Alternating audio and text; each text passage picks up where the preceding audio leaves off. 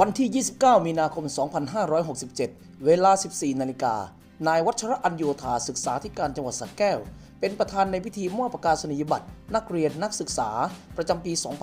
2566 ณ อาคารหอประชุมร่วมใจพัฒน์วิทยาลัยเทคนิคสระแก้ว โดยมีนายนนทพันธ์พิมพา ผู้อำนวยการวิทยาลัยเทคนิคสระแก้ว เป็นผู้กล่าวรายงาน โดยวิทยาลัยเทคนิคสระแก้ว ได้จัดให้มีการเรียนการสอนในระดับประกาศนียบัตรวิชาชีพ หรือ ปวช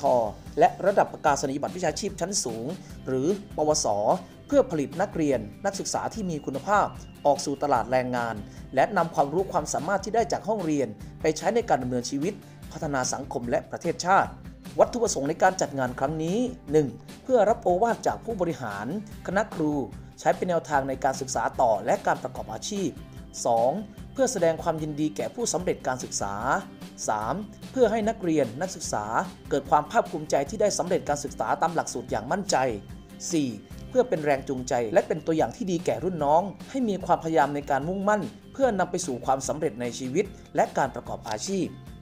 พิธีมอบใบประกาศในครั้งนี้ มีจำนวนสาขาที่สำเร็จการศึกษาทั้งหมด 13 สาขา มีผู้สำเร็จการศึกษาแยกเป็น 2 ระดับ คือ ระดับชั้นประกาศนียบัตรวิชาชีพ หรือ ปวชจำนวน 691 คน และระดับประกาศนียบัตรวิชาชีพชั้นสูง หรือ ปวสจำนวน 564 คน รวมทั้งสิ้น 1,255 คน หลังจากมอบประกาศนียบัตรแล้ว นายวัชระอัญโยธา ได้กล่าวให้โอวาทและข้อคิดในการใช้ชีวิตในสังคม และการทำงานให้แก่ผู้สำเร็จการศึกษาในครั้งนี้ด้วย ผมขอแสดงความชื่นชมแล้วก็ยินดีเป็นอย่างยิ่งนะครับ ที่ได้เห็นนักเรียนนักศึกษาทุกคนประสบความสำเร็จในการศึกษา ซึ่งถือเป็นระดับที่สำคัญยิ่งในการพัฒนาคุณภาพชีวิต และเป็นพื้นฐานของการพัฒนาตนเองให้เจริญก้าวหน้า และมีศักยภาพทางด้านอาชีพและการดำเนินชีวิต การจัดกิจกรรมมีขึ้นให้นักเรียนนักศึกษาได้ตระหนักถึงการศึกษา และพัฒนาตนเองเพื่อผลิตและพัฒนากำลังคนด้านวิชาชีพในทุกระดับให้มีคุณภาพได้มาตรฐานตรงตามความต้องการของตลาดแรงงาน ทั้งนี้คุณครูทุกท่านที่นั่งอยู่ณที่นี้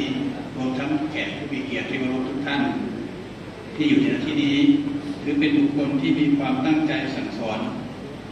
ลูกศิษย์ให้เป็นผู้มีความรู้มีความขยันและอดทน ส่งผลให้นักเรียนนักศึกษาประสบความสำเร็จได้ในวันนี้กับผมหวังเป็นอย่างยิ่งว่า ประกาศนียบัตรที่ได้รับในวันนี้จะเป็นใบเบิกทางให้ทุกท่าน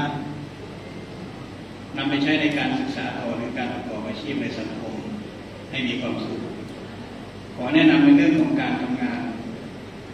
และการวางตัวในการทำงานในฐานะที่ทุกคนเป็นนักเรียนนักศึกษาของวิทยาลัยเทคนิคสแก้ว ถ้านักเรียนนักศึกษาต้องการความมั่นคงในอาชีพควรมีคุณสมบัติ เช่นเรื่องของความอดทน ความอุตสาหะในวิชาชีพของตนเอง มีคุณสมบัติที่ดีนอกเหนือจากใบประกาศนียบัตรเช่นมีความสนใจ และมีความตั้งใจไปเรียนรู้ตลอดเวลา มีบุคลิกภาพที่ดีเช่นการแต่งกาย การเข้าสู่สังคม ซึ่งหน่วยงานหรืองค์กรในปัจจุบันมีอัตราการแข่งขันที่สูงเป็นอย่างยิ่ง ดังนั้นนักเรียนนักศึกษาต้องมีความรู้พื้นฐาน ความสามารถไปเรียนรู้พัฒนาตนเองอย่างต่อเนื่อง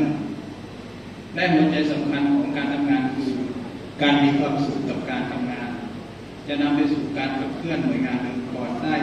อย่างมีประสิทธิภาพ ทีมข่าวประชาสัมพันธ์สำนักงานศึกษาธิการจังหวัดสระแก้ว วัชระอัญโยธาศึกษาธิการจังหวัดสระแก้วอำนวยการผลิต รุ่งตะวันโรจนทรธรวัตรรายงาน